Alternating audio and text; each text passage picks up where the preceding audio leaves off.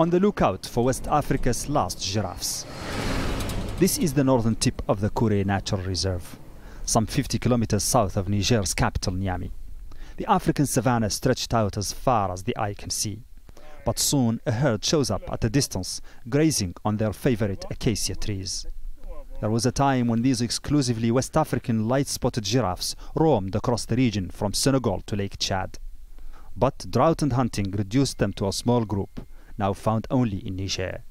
Authorities here have been trying to protect what remains of this endangered subspecies. They are proud of the result. In 1996, we had just 50 giraffes. Now, as we speak, we have 452 giraffes. We try to get a closer look, but as we approach, we're told not to disturb them.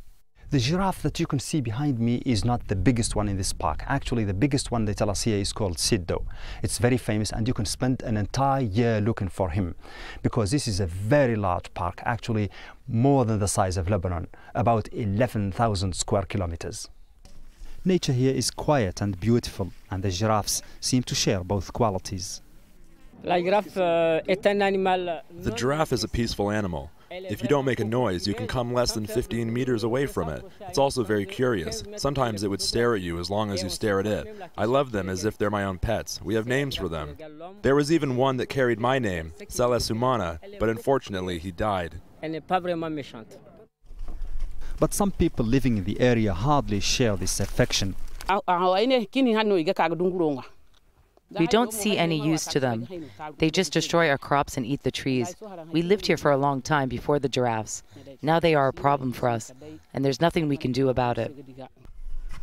Another problem affecting both people and giraffes consisted of two years of drought, resulting in meager crops and drier vegetation.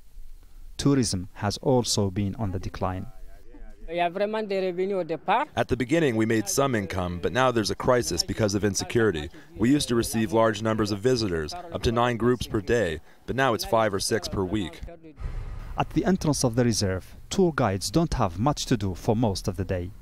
There's concern that violence in the area and drought could reverse the success Niger has made in preserving one of West Africa's natural wonders. Mohamed Vall, Al Jazeera, Kure Natural Reserve. Niger.